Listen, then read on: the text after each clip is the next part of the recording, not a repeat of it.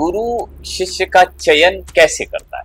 उनके लीलात्मा चम, चमक होना चाहिए तेज होना चाहिए। एक गुरु अपने ज्ञान को अपने शिष्य को किस तरीके से देता है ये जानना बहुत रोचक हो। तो जो गुरु होता है ना वो शिष्य जो होता है वो अनपढ़ गंवार जिसे एक तरह से आप मान लीजिए कुछ नहीं जानता बोध है।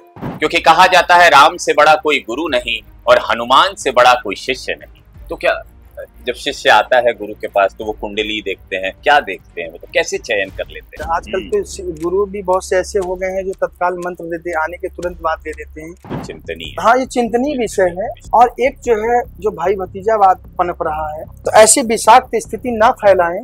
ये महत्वपूर्ण विषय है जिन पे पूरे धर्म को ही चर्चा करनी चाहिए। बिल्कुल। सभी शंकराचार्य से लेके एक सामान नीचे स्तर तक का साधु को इस पर चर्चा करने की आवश्यकता है। अब ये सबके लिए जानना बहुत ज़रूरी धर्म के लिए भी जानना ज़रूरी हो गया और समाज को भी ये जानना ज़रूरी हो गया यहाँ शस्त्र और शास्त्र दोनों की शिक्षा दी जाती है। अच्छा तो वो जो वीर रूप है वो क्या शिला है या स्वयं प्रकट हुए हैं?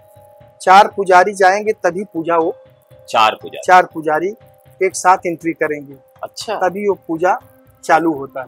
उत्तराधिकार के साथ उत्तरदायित्व और आज की जो स्थिति है, आप देख सकते हैं किस तरह से दो पार्ट में बटा हुआ है खड़ा परिषद। ये चीज़ें नहीं होनी चाहिए।